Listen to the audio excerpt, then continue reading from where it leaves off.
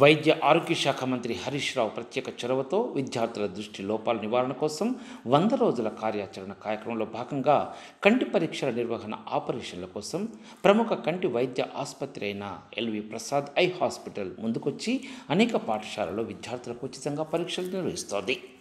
జ్ఞానేంద్రియాలు ప్రధానమైన కంటికి సంబంధించిన వ్యాధుల నిర్ధారణ కంటి చూపు తదితర అంశాలపై విద్యార్థులకు పరీక్షలు నిర్వహించాలన్న ఆలోచనతో మంత్రి హరీష్ రావు ప్రత్యేక చొరవ తీసుకున్నారు.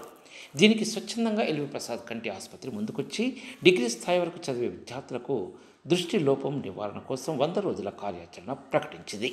సిద్దిపేట జిల్లా వ్యాప్తంగా అంగన్వాడీ కేంద్రం నుంచి మొదలుకొని డిగ్రీ విద్యార్థుల వరకు ప్రాథమిక నేత్ర స్క్రీనింగ్ పరీక్షలు నిర్వహించాలని సిద్దిపేట కలెక్టర్ హనుమంతరావు So, 吃